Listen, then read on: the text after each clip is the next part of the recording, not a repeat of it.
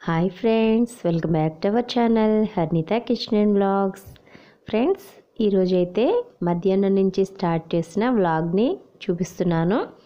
So మధ్యాహ్నం నుంచి evening వరకు కూడా వ్లాగ్ అనేది షూట్ చేశాను. అంటే నైట్ సెవెన్ థర్టీ వరకు కూడా వ్లాగ్ని షూట్ చేశాను. మార్నింగ్ పిల్లలు వాళ్ళకి అలాగే మా హస్బెండ్కి కూడా బ్రేక్ఫాస్ట్ అది పెట్టేసి లంచ్ బాక్స్ అది ప్రిపేర్ చేసి పంపేసిన తర్వాత నేను ఈరోజు కొంచెం పని అది ఎక్కువగా ఉంది అని మార్నింగ్ వ్లాగ్ అనేది స్టార్ట్ చేయలేదు. సో మధ్యాహ్నం నుంచి వ్లాగ్ అనేది స్టార్ట్ చేశాను. ట్వెల్వ్ థర్టీ అలా అవుతుంది వ్లాగ్ స్టార్ట్ చేసేసరికి. ఇలా నేను లేట్గా స్టార్ట్ చేశాను కదా అని ఈవినింగ్ వరకు వ్లాగ్ అనేది షూట్ చేసి చూపిస్తున్నాను. సో ఇక్కడైతే నేను ఏం చేస్తున్నాను అని చూస్తున్నారు కదా. సో ఇక్కడ వచ్చి నేను రసగుల్లా ప్రిపేర్ చేస్తున్నాను. సో రసగుల్లా అంతా అంటే మామూలుగా అయితే రసగుల్లా అవి కూడా ఏవైనా రెసిపీస్ అవి చూపించేటప్పుడు చేస్తూ ఉండొచ్చు. మామూలుగా ఈరోజు బ్లాగ్లో ఎందుకు చూపిస్తున్నానంటే ఈరోజు మార్నింగ్ పాలు అనేవి విరిగిపోయాయి. సో నైట్ తీసుకొచ్చిన పాలు ఫ్రిడ్జ్లో పెట్టాను. అసలు ఎందుకు విరిగిపోయాయి అసలు ఎందుకు అలా జరిగింది అనేది నాకైతే అర్థం కావట్లేదు. సో మామూలుగా మనం పాలు అవి స్టోర్ చేసుకునేటప్పుడు మనం వాడుకునే గిన్నెలు అవి కూడా చాలా నీట్గా ఉండాలంటారు. సో నేను అవన్నీ కూడా చాలా జాగ్రత్తగానే చూసుకుంటాను. సో ఒకవేళ బయట నుంచి పాలు తీసుకొచ్చాం కదా అవి ఏమైనా కొంచెం బాగోలేదేమో అనిపించింది. ఇంతకు ముందు ఒకసారి కూడా పాలు విరిగిపోయాయి. సో అప్పుడైతే నేను సింపుల్గా ఒక రెసిపీ అనేది ప్రిపేర్ చేసి కూడా చూపించాను. పాలు విరిగిన విరిగిపోయినప్పుడు మనం ఏదైనా సింపుల్గా రెసిపీ చేసుకోవాలంటే ఎలా చేసుకోవాలి అని ఆ వీడియో అయితే చూపించాను. సో ఈరోజైతే ఇలా విరిగిన పాలతో రసగుల్లా అనేది ప్రిపేర్ చేస్తున్నాను. సో స్టవ్ పైన పాలు పెట్టిన వెంటనే అవి విరిగిపోయినట్టుగా అయిపోయాయి. సో డైరెక్ట్గా వాటినే రసగుల్లా అనేది చేయకూడదు. అలాంటి పాలని ఇంకా కొంచెం ఫ్రెష్గా చేయడం కోసం మంచి టేస్ట్ రావడం కోసం నేను అందులో కొద్దిగా లెమన్ జ్యూస్ అనేది వేసాను. లెమన్ వేయడం వల్ల పాలు ఇంకా చక్కగా బాగా విరిగిపోయి మనం ఇలాగా చీజ్ కానీ లేదంటే పన్నీర్ కానీ ఇలా మనం రసగుల్లా కానీ ఏదైనా ప్రిపేర్ చేసుకోవచ్చు. ఫస్ట్ అయితే పాలు కొంచెం హీట్ అయిన తర్వాత స్టవ్ ఆఫ్ చేసుకుని అందులో కొద్దిగా లెమన్ జ్యూస్ అనేది వేసుకున్నాను. లెమన్ జ్యూస్ వేసుకుని ఒకసారి స్పూన్తో కలిపితే పాలలో మొత్తం కూడా ఈ లెమన్ జ్యూస్ అనేది కలిసి పాలు బాగా విరిగిపోతాయి. అప్పుడు కాస్త హీట్ అనేది చల్లారిన తర్వాత ఒక స్ట్రైనర్లోకి ఒక క్లాత్ కానీ ఏదైనా పల్చిగా ఉన్న క్లాత్ ఒకటి తీసుకొని అందులో వేసి మొత్తం కూడా పాలని బాగా వాటర్ అనేది పాలు అనేవి ఏమీ లేకుండా అన్ని పాలు అన్నీ కూడా మనం విరిగిన పాలు మొత్తం కూడా ఒక క్లాత్లో వేసుకుని పైన కొద్దిగా ఫ్రెష్ వాటర్ అనేది వేసుకోవాలి. డెఫినెట్గా వేయాలి. ఫ్రెష్ వాటర్ వేసుకున్న తర్వాత ఒకసారి క్లాత్ని గట్టిగా నొక్కి దానిపైన ఏదైనా వెయిట్ పెట్టి ఉంచుకోవాలి. సో ఇది మీకు ఎక్స్ప్లెయిన్ చేస్తే సరిపోతుంది కదా అని వీడియో అనేది ఏమీ షూట్ చేయలేదు. సో అది మొత్తం కూడా అలా చేసిన తర్వాత స్టార్టింగ్లో మీరు చూసారు కదా నేను ఒక ప్లేట్లో వేసుకొని దాన్ని మొత్తం కూడా చేతితో ఒక ఐదు నిమిషాల వరకు కూడా అలా కలుపుతూ ఉన్నాను. అలా కలపడం వల్ల చాలా స్మూత్గా సాఫ్ట్గా వస్తుంది. అలా కలిపిన తర్వాత మనకి నచ్చిన సైజులో బాల్స్ అనేవి ప్రిపేర్ చేసుకోవచ్చు. బాల్స్ ప్రిపేర్ చేసుకున్న తర్వాత ఇలా స్టవ్ వెలిగించి స్టవ్ పైన షుగర్ సిరప్ పెట్టుకున్నాను. షుగర్ వచ్చి ఒక కప్పు షుగర్కి కప్పున్నర వాటర్ అనేది యాడ్ చేసుకున్నాను. సో ఇలా షుగర్ కరిగే వరకు కూడా దీనిని కాసేపు ఇలా కలుపుతూ ఉండాలి. షుగర్ వేసి మనం వాటర్ వేసిన తర్వాత కలుపుకుండా అలా వదిలేస్తే షుగర్ గట్టిగా అయిపోయినట్టుగా ఒక అచ్చులాగా కట్టేస్తుంది. సో అలా కాకుండా మనం గరిటెతో కలుపుతూ ఉండాలి. సో అలా కలిపిన తర్వాత షుగర్ పూర్తిగా కరిగిపోయి ఇలా బాగా వాటర్ మరుగుతూ ఉండాలి. ఇప్పుడు చక్కటి షుగర్ సిరప్ అయితే రెడీ అయిపోయింది. కావాలంటే ఇందులో కొద్దిగా యాలకుల పొడి కూడా వేసుకోవచ్చు. నేనైతే ఇంకా యాలకుల పొడి ఏమీ వేయలేదు. డైరెక్ట్గా అలాగే ముందుగా ప్రిపేర్ చేసుకుని ఈ రసగుల్లా బాల్స్ని వేసేసుకున్నాను. సో చూస్తున్నారు కదా. సో ఇవన్నీ కూడా ఇందులో వేసుకున్న తర్వాత స్టవ్ని మీడియం ఫ్లేమ్లో ఉంచుకొని ఇవి చక్కగా ఇలాగా బాగా ఒకసారి అటు ఇటు కదుపుకుంటూ ఒక ఐదు నిమిషాలైనా సరే ఉంచాలి. సో అలా ఐదు నిమిషాలు ఉంచడం వల్ల షుగర్ సిరప్ చాలా చక్కగా వీటిని అబ్జర్వ్ చేసుకుంటుంది. మనం వేసిన బాల్స్ చిన్న చిన్నవి వేసినా కానీ డబుల్ క్వాంటిటీ అయితే అయిపోతాయి.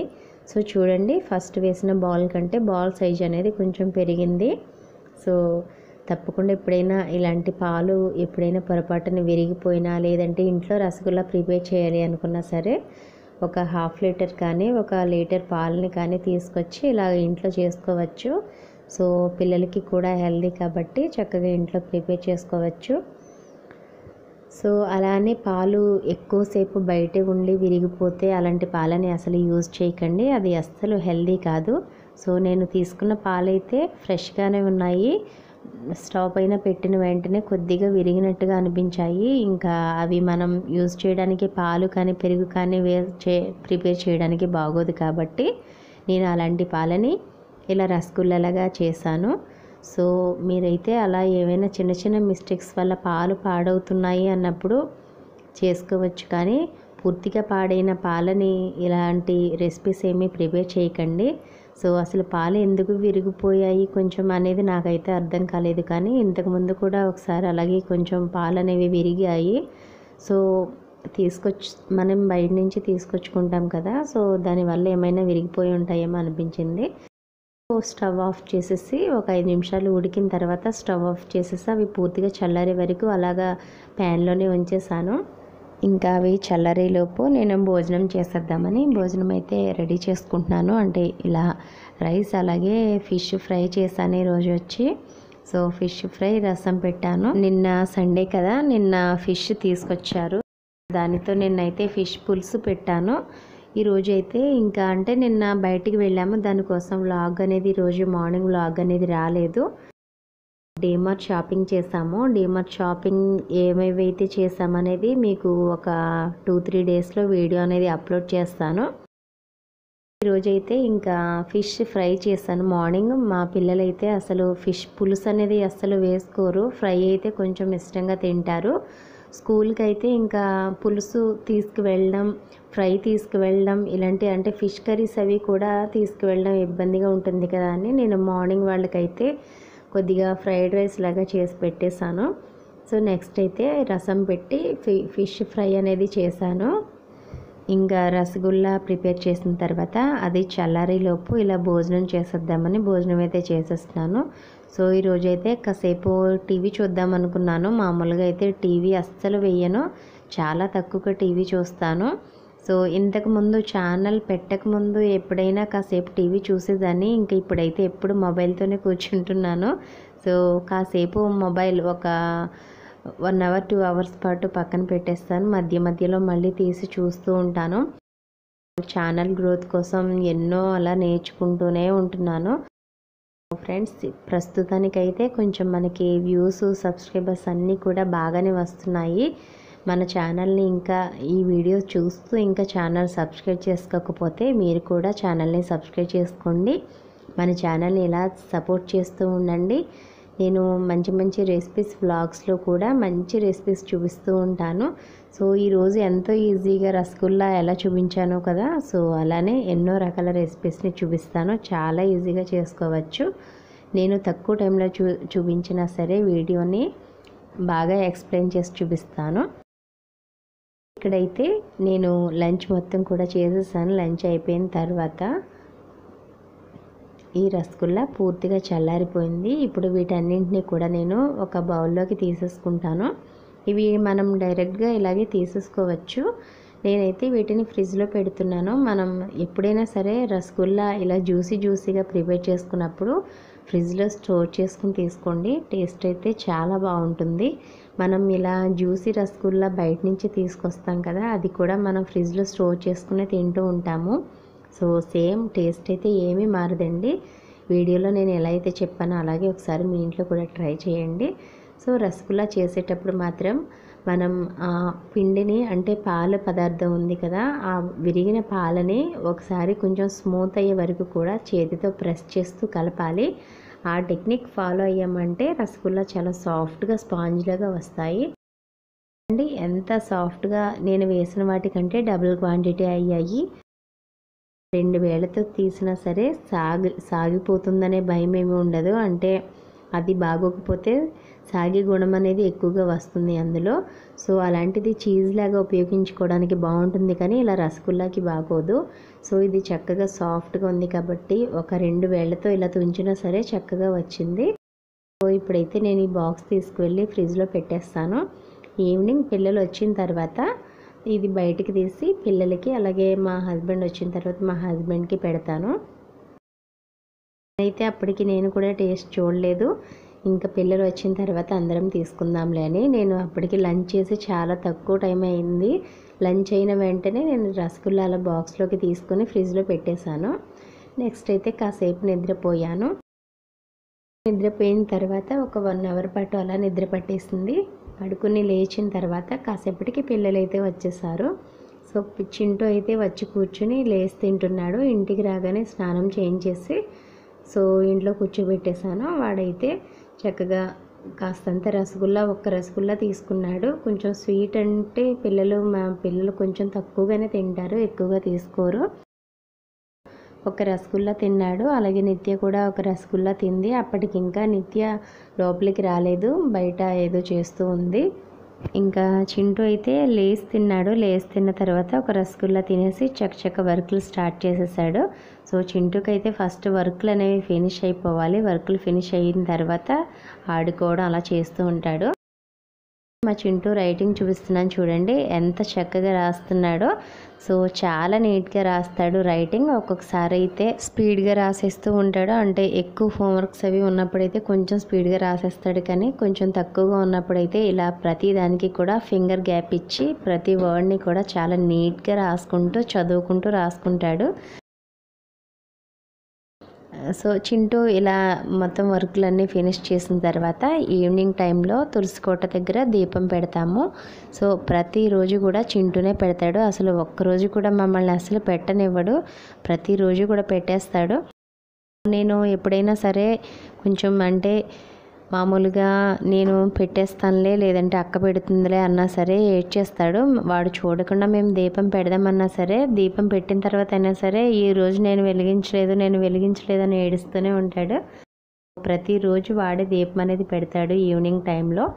సో ఈవినింగ్ టైంలో ఇలా సంధ్యా దీపం పెట్టుకోవడం చాలా మంచిది. నేను కూడా ఈ మధ్యనే రీసెంట్గా స్టార్ట్ చేశాను. చాలా మంచిది పెట్టుకోవడం. నేను వచ్చి దేవీ నవరాత్రుల టైంలో స్టార్ట్ చేశాను. ఇలా దీపం పెట్టడం అప్పటి నుంచి ప్రతిరోజు కూడా ఇలా దీపం అనేది పెడుతున్నాము. అప్పటికి సిక్స్ ఓ క్లాక్ అయింది. సిక్స్ ఓ క్లాక్ దాటిన తర్వాత ఇక్కడ వచ్చి ఇప్పుడు సెవెన్ థర్టీ ఆ టైం అయిపోయింది. ఇక్కడైతే నేను న్యూడిల్స్ ప్రిపేర్ చేస్తున్నాను. చింటూ స్కూల్ నుంచి వచ్చిన వెంటనే న్యూడిల్స్ చేయమన్నాడు. డాడీ వచ్చిన తర్వాత చేస్తానని చెప్పాను.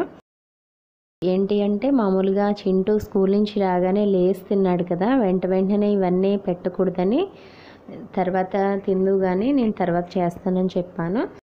వాళ్ళ డాడీ కూడా వచ్చిన తర్వాత ఇంకెలాగో కాఫీ అది తాగుతారు కదా దాని ముందు కొంచెం స్నాక్స్ లాగా ఉంటుంది ఇది పెడదామని ఇంకా వాళ్ళ డాడీ కూడా న్యూడిల్స్ ప్రిపేర్ చేశాను. సో మామూలుగా న్యూడిల్స్ కొంతమంది మా ప్రిపేర్ చేసిన తర్వాత న్యూడిల్స్ పూర్తిగా కుక్ అయిపోయిన తర్వాత లాస్ట్లో ఇలా మసాలా అనేది వేస్తారు. నేనైతే అసలు ఎప్పుడు అలా వేయను. మామూలుగా అయితే వాటర్ పెట్టేస్తాను ఫస్ట్. ఒక నేనైతే త్రీ ప్యాకెట్స్ తీసుకున్నాను. న్యూడిల్స్ ప్యాకెట్స్ త్రీ ప్యాకెట్స్ తీసుకుని అందులో ఒక టూ గ్లాసెస్ వాటర్ వరకు యాడ్ చేశాను ఇందులో. టూ గ్లాసెస్ వాటర్ వేసుకున్నాను. వాటర్ వేసుకున్న తర్వాత ఒక four to five drops oil అనేది యాడ్ చేస్తాను. ఆయిల్ వేయడం వల్ల న్యూడిల్స్ స్టిక్కీ అయిపోకుండా అంటే ఒకదానికొకటి అంటుకుపోకుండా పొడి పొడిగా వస్తుంది. చాలా బాగుంటుంది. ఒక ఫోర్ ఫైవ్ డ్రాప్స్ వేసుకుంటే సరిపోతుంది. అలా వేసుకున్న తర్వాత మసాలా ఉంటుంది కదా న్యూడిల్స్కి. ఆ మసాలా ప్యాకెట్స్ మూడు కూడా కట్ చేసి ఇందులో వేసేసుకున్నాను. ఇలా వేసుకోవడం వల్ల ఏంటి అంటే న్యూడిల్స్కి మసాలా అనేది చక్కగా పడుతుంది. ఇది మనం మామూలుగా న్యూడిల్స్ కుక్ అయిన తర్వాత వేసుకుంటే మసాలా అనేది ఒక్కొక్క చోట ఎక్కువ ఒక్కొక్క చోట తక్కువ ఉంటుంది. మనం దాన్ని మొత్తం కలపడం వల్ల న్యూడిల్స్ అనేవి విరిగిపోయినట్టుగా పేస్ట్ లాగా అయిపోతూ ఉంటాయి వేడి మీద కలిపేస్తూ ఉంటే. సో అలా కాకుండా ఇలాగా మసాలా ముందుగానే వేసేసుకుని వేస్తూ ఉంటాను. సో ఇలా ఎంతమంది చేస్తారు అనేది కామెంట్ చేసి చెప్పండి. చాలామంది అయితే నూడిల్స్ ప్రిపేర్ చేసిన తర్వాత అవి కుక్ అయ్యాక లాస్ట్లో కొద్దిగా ఈ మసాలా అనేది యాడ్ చేసుకుంటారు. చూస్తున్నారు కదా నేనైతే ఇలాగే చేస్తాను. ఇలా చేయడం వల్ల ఏంటి అంటే న్యూడిల్స్ మనం ఎలా అయితే వేసామో అలానే ఉంటాయి. అస్సలు ఒకదానికొకటి అతుక్కుపోవు అలాగే విరిగిపోవు కూడాను. చాలా పర్ఫెక్ట్గా వస్తాయి. ఆయిల్ వేయడం చాలా బెస్ట్ ఇందులో. ఆయిల్ వేయడం వల్ల చాలా అంటే చాలా ఒక పొడి పొడిగా వస్తూ ఉంటాయి. సో ఇక్కడైతే నేను కాఫీ కూడా పెట్టేద్దాం అనుకుంటున్నాను. అంటే న్యూడిల్స్ తిన్న వెంటనే కాఫీ కూడా రెడీ అయిపోతుంది కదా అని. ఫస్ట్ అయితే స్టవ్ పైన పాలు పెట్టాను. కొన్ని పాలు తీసి పక్కన పెట్టి మిగతావి మిగతా పాలు కాఫీ పెట్టేస్తాను. ఇక్కడైతే న్యూడిల్స్ కూడా కుక్ అయిపోయింది. కొద్దిగా వాటర్ అనేది ఉంది. మరి కాస్త సేపు అయితే కుక్ అయితే సరిపోతుందని నేను స్టవ్ని మీడియం ఫ్లేమ్లో పెట్టేసి కుక్ చేసుకుంటున్నాను. మామూలుగా మనం నూడిల్స్ వేసినప్పటి నుంచి కూడా స్టవ్ని మీడియం ఫ్లేమ్లోనే పెట్టుకొని కుక్ చేసుకోవాలి. హై ఫ్లేమ్లో పెట్టామంటే లోపల ఉడకకుండా గట్టిగా ఉంటుంది. పైన కుక్ అయిపోయినట్టుగా అనిపిస్తూ ఉంటుంది. అలా కాకుండా స్టవ్ని మీడియం ఫ్లేమ్లో పెట్టుకున్నామంటే నెమ్మదిగా అది ఉడికి చక్కగా సాఫ్ట్గా ఉంటుంది. సో ఇక్కడైతే ముందు పిల్లలకి వేసేసాను. తర్వాత మా హస్బెండ్ నేను కూడా తిన్నాము. అయితే అప్పటికి వెయిట్ చేస్తున్నాడు. ఎప్పుడు అమ్మ చేస్తుందని? చింటూ అయితే పిచ్చ ఫేవరెట్ న్యూడిల్స్ అంటే చాలా ఇష్టంగా తింటాడు. సో ప్రతిరోజు న్యూడిల్స్ లాంటివి కొంచెం మసాలా అది ఎక్కువగా ఉంటుంది కదా పెట్టకూడదని. వీక్లో కనీసం వన్ టైం కానీ లేదంటే టూ వీక్స్కి వన్ టైం కానీ చేస్తూ ఉంటాను. వాళ్ళు తింటున్నారు కదా ఇష్టంగానే మనం ప్రతిరోజు చేసి పెడితే హెల్త్ బాగోదు కదా. సో స్టమక్ పెయిన్ అది వస్తూ ఉంటాయి. బాడీ హీట్ అనేది ఎక్కువైపోతుంది అలాంటివి తినడం వల్ల. కొంచెం మసాలా అది ఎక్కువగా ఉంటుంది కదా ఘాటు అనేది. సో దానికోసం నేను తక్కువగానే పెడుతూ ఉంటాను. ఇంకా న్యూడిల్స్ తీసుకున్న తర్వాత కాఫీ పెట్టేశాను. ఇంకా నైట్ నైన్ నైన్ థర్టీ అయిన తర్వాత భోజనం అయితే చేస్తాము. సో ఫ్రెండ్స్ చూసారు కదా ఇవాళ వ్లాగ్ అయితే మా ఇంట్లో ఇలా జరిగింది. సో వీడియో నచ్చితే తప్పకుండా వీడియోకి ఒక లైక్ చేయండి. అలాగే ఎలా ఉంది అనేది కామెంట్ సెక్షన్లో కామెంట్ చేసి చెప్పండి. ఇంకా మన ఛానల్ని సబ్స్క్రైబ్ చేసుకోకపోతే హర్నిత కిచెన్ వ్లాగ్స్ ఛానల్ని సబ్స్క్రైబ్ చేసుకుని పక్కనే ఉన్న బెల్ బటన్ని ప్రెస్ చేసి అందులో ఉన్న ఆల్ ఆప్షన్ని సెలెక్ట్ చేసుకోండి. ఆల్ ఆప్షన్ సెలెక్ట్ చేయడం వల్ల ప్రతిరోజు నేను పంపే వీడియోస్ మీ నోటిఫికేషన్లోకి వస్తాయి. ఓకే ఫ్రెండ్స్ చూసారు కదా ఇవాళ మన వీడియో. సో ఇవాళ వీడియో అయితే ఇక్కడితో ముగించేస్తున్నాను. రేపు మరో సూపర్ వీడియోతో మేము ముందుంటాను. Thank you for watching.